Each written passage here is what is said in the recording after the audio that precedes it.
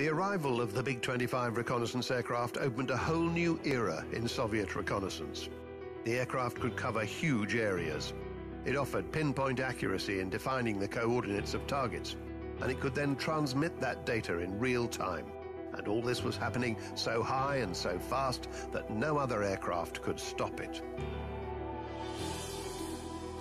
The history of the MiG-25 is illuminated by bright splashes of world achievements. At various times, MiG-25s have set about 40 world records. Some of them remained unbroken for many years.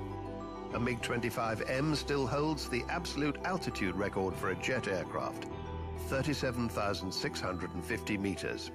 That was set by Alexander Fedotov on the 31st of August 1977. With the creation of the MiG-25, the Soviet Union became strong as a great aviation power.